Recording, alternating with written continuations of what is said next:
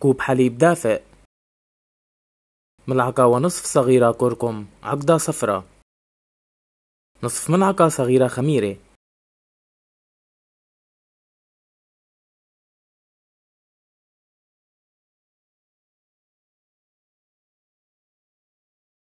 خمسة أكواب دقيق أبيض. كوب سكر. ملعقة صغيرة baking powder ملعقة ونصف صغيرة زنجبيل. ملعقة ونصف صغيرة قرفة. نصف ملعقة صغيرة ملح. ملعقة ونصف صغيرة محلب. ملعقتان كبيرتان ينسون. ثلث كوب سمسم محمص.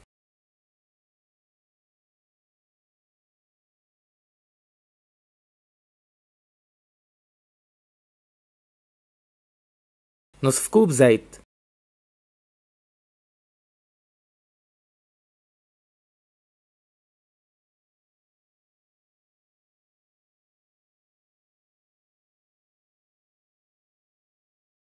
يفرك جيدا حتى يتشرب الدقيق والتوابل. الزيت.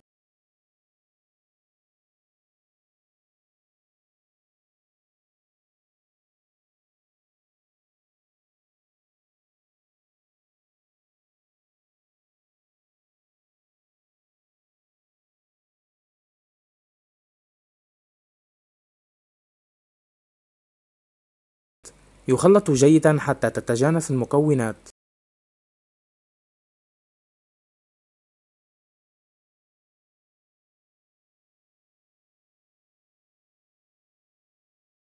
ثلاثة أرباع ملعقة كبيرة زيت زيتون.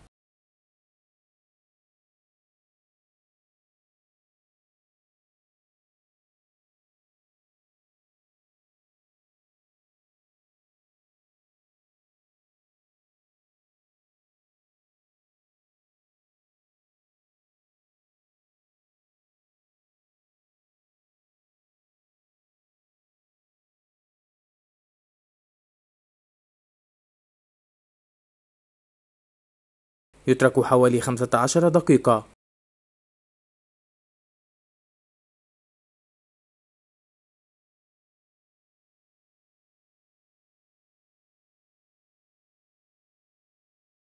زيت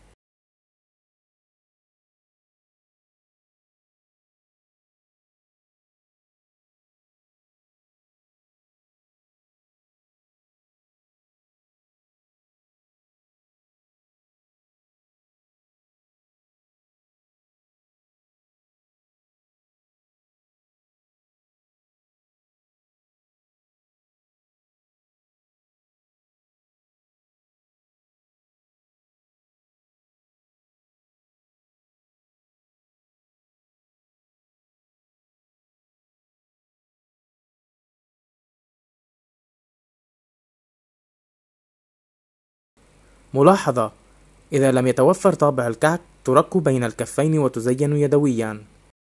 صينية الفرن مغلفة بورق الخبز. توضع في فرن محمى مسبقاً على حرارة 180 درجة حوالي 15 دقيقة أو حتى تصبح ذهبية اللون.